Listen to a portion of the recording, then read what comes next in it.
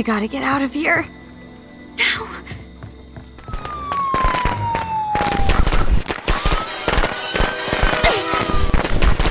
Why won't you fucking die?